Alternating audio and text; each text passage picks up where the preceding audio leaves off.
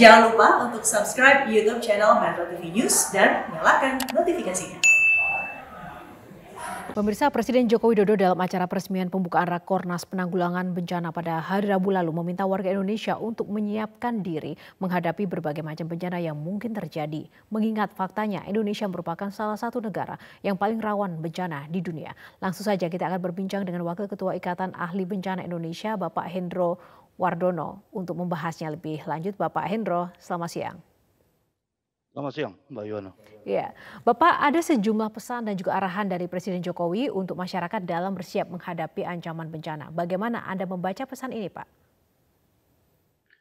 Saya pikir ini pesan yang luar biasa operasional ya. Tidak sekedar hanya pesan-pesan yang barangkali konseptual, tapi pesan-pesan yang memang harus kita tindak lanjuti dengan aksi. Ada satu pesan yang luar biasa bahwa Jangan terlalu banyak membuat aturan, tapi langsung aksi ke lapangan. Itu yang menjadi penting. Apalagi dalam konteks pengurangan risiko. Beliau kemarin dalam arahan menyampaikan bahwa kebijakan pengurangan risiko bencana itu mulai dari hulu sampai hilir. Bahkan pada lingkup mikro sampai pada sisi keluarga. Ini yang harus kita tindak lanjuti, yang tidak gampang menurut saya dalam implementasinya dan perlu aksi-aksi nyata.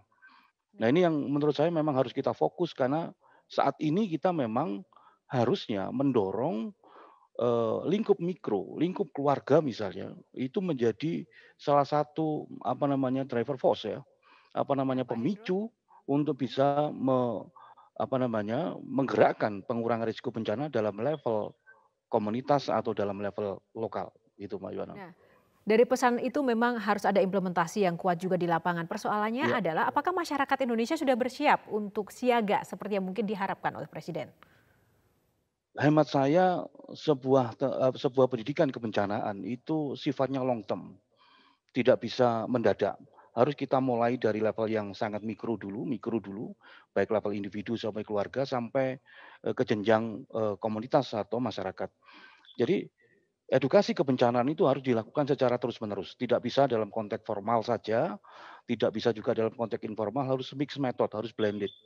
Karena pendidikan kebencanaan itu sifatnya long term sekali lagi, jangka panjang. Harus terus-menerus diupayakan. Masyarakat kita mungkin kalau saya katakan lebih apa namanya, mungkin barangkali lebih reaktif ya. Eh, ketika terjadi bencana baru kemudian merespon, tapi tidak sedikit juga yang sudah melakukan upaya-upaya antisipasi. Esensi pengurangan risiko bencana itu satu, mereka harus mampu menyerap ancaman, menyerap tekanan. Paling tidak mengenali ancaman yang ada di sekitarnya. Ini yang paling penting. Kalau mereka tidak mampu mengenali ancaman di sekitarnya, uh-huh. ini ya barangkali untuk sikap antisipasi akan sulit dilakukan. Nah ini kita nah, dorong ya, bagaimana Hendro, mereka betul. mengenali ancaman. Ya. Nah kemudian yang pertanyaan kedua, selanjutnya, pertanyaan selanjutnya uh, Pak Hendro, mungkin apakah sebenarnya mitigasi yang sudah dilakukan Indonesia, khususnya masyarakat kita saat ini memang sudah baik dan apa evaluasinya? Kita akan sambung perbincangan kita. Kita jeda dulu Pak Hendro, sesaat lagi Metro Siang masih akan kembali. Ya pemirsa, kembali di Metro Siang. Saat ini masih bersama Wakil Ketua Ikatan Ahli Bencana Indonesia Bapak Hendro Wardono yang berbincang untuk membahas terkait dengan kebencanaan Indonesia dan juga mitigasi terkait juga pesan dan arahan dari Presiden Joko Widodo untuk masyarakat dalam bersiap menghadapi ancaman bencana. Nah Pak, tadi Anda sudah menjelaskan terkait bagaimana kesiapan masyarakat kita dan juga potensi-potensinya. Lalu bagaimana dengan instansi pemerintah dan juga pihak-pihak terkait dalam membaca pesan Presiden ini? Apa yang mungkin perlu dievaluasi?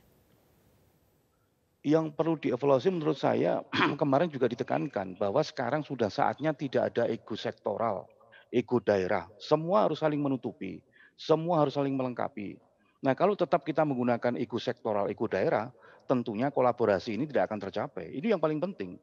Karena kebencanaan itu kerja bersama, bukan kerja individual, bukan kerja instansional secara ego sektoral, tetapi kerja secara bersama. Ini yang menjadi menurut saya penting, bukan hanya kolaborasi di tingkat pusat, tapi kolaborasi di tingkat lokal pun harus dilakukan dalam dalam apa namanya eh, konfigurasi pentahelik. Bahkan mungkin dalam hal ini sampai pada level dasawisma pun kita perlu dorong untuk melakukan kolaborasi dengan berbagai pihak dalam rangka pengurangan resiko. Menurut ya, saya menurut begitu. Anda, apakah mitigasi penanggulangan bencana saat ini di Indonesia sudah cukup baik, Pak? Mengingat bencana yang terjadi berturut-turut dan juga terjadi di sejumlah wilayah ini uh, terus saja meluas di beberapa titik. terlalu naif kalau kita mengatakan bahwa mitigasi bencana itu sudah bagus.